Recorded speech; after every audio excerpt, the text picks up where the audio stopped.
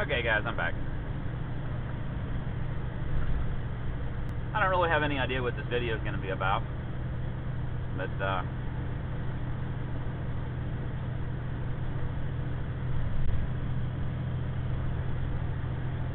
probably going to record as long as I can. What I might do is uh,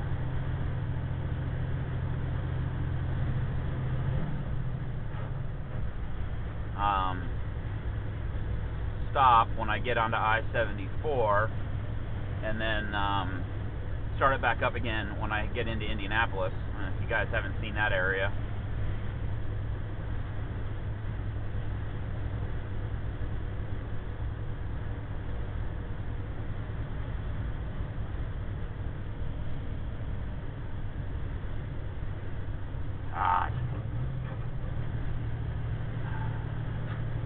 Give me a 600 horsepower engine. yeah, right, like that's going to happen.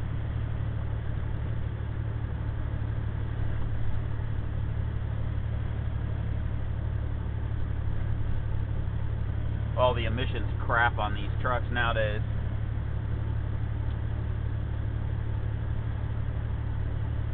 I mean, I like having clean air too, but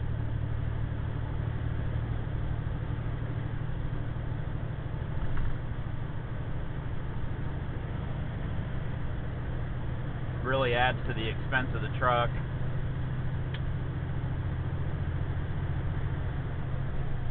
And it reduces the uh, fuel mileage as well.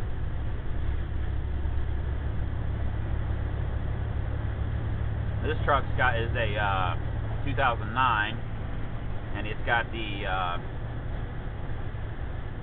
DPF on it, diesel particulate filter. The idea is that it traps, you know, when you see old trucks in the old days spewing the black smoke. It's supposed to, first of all, I haven't really, modern trucks haven't spewed smoke in a long time. But, uh, well, they will when you first hit the throttle, but you know, if the turbo's working right and the person hasn't overfueled it for whatever reason, um, you know, they really don't spew black smoke when you're under load. But anyway, I guess there's invisible diesel particulates and supposedly it's a health hazard, causes cancer or whatever. Um, I think pretty much at this point everything causes cancer, but uh, um, the diesel particulate filter traps that stuff in some kind of a filter trap. I don't I don't know exactly what, how it works, and then um, collects it. And then what it does is when it when it when the filter starts to get filled up, or to some preset level, it injects diesel fuel into the hot canister. It ignites and burns burns the uh, soot into an ash, uh, converts it into I think it's carbon dioxide, but I, I, I'm not sure, and leaves a fine ash inside the filter that eventually does need to be cleaned out. Um,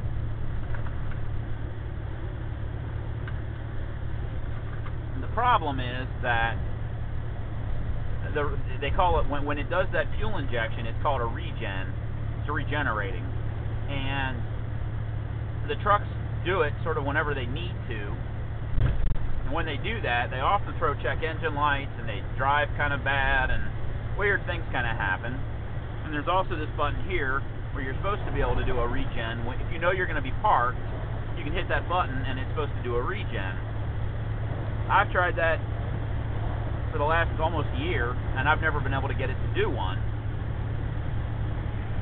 Um, I was listening to uh, America's Trucking Network last night. If you guys don't haven't listened to that, you ought to. It's uh, it's on from um, I believe it's on from midnight to 5 a.m. or 4 a.m.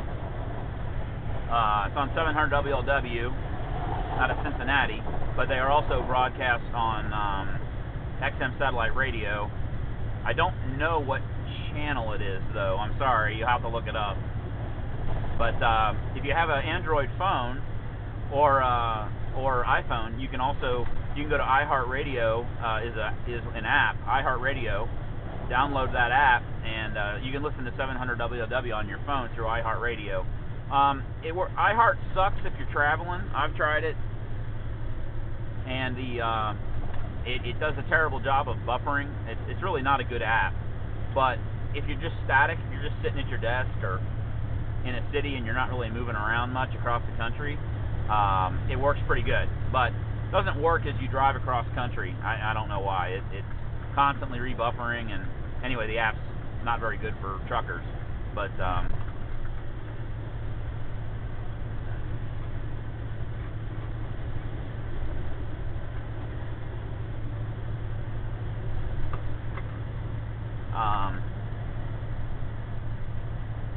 oh, not fucking paying attention.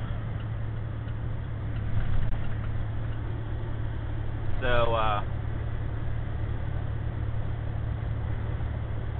anyway, when I talking about the diesel particulate filters, um, they were talking on ATN. They, they had a, a company on that makes these things, a particular type, and their recommendation is to have the filter vacuumed or cleaned or whatever, you know, every 150 to 200,000 miles, depending on the make and model and uh, if you wait too long, the filter will crack.